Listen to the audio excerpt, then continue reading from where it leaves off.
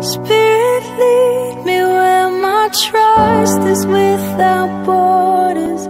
Let me walk upon. We, the family of His Royal Highness Eze SBC Orisakwe, late Eze Wamadu III of Owerri Nkwoji Autonomous Community, regret to announce the passing to glory of our mother, wife, auntie, grandma, great-grandma, and sister, late Ezine Ugoeze Caroline Wangwede Orisakwe, aka Mwachinemere Ada Jesus, whose sad event took place on the 12th day of July 2020. She died at the age of 92. Burial arrangement on 29th day December by 9 p.m. Crusade, Strokeway Cape.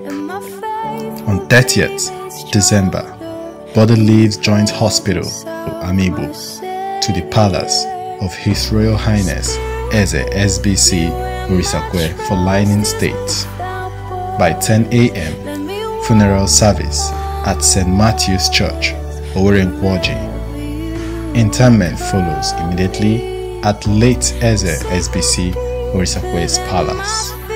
3rd January 2021, Alton service at St. Matthew's Church, Owerri Nkwoji. Thank you as you honor this invitation. May God bless you all. Amen. Announcer Sir Ricky Orisakwe for the family.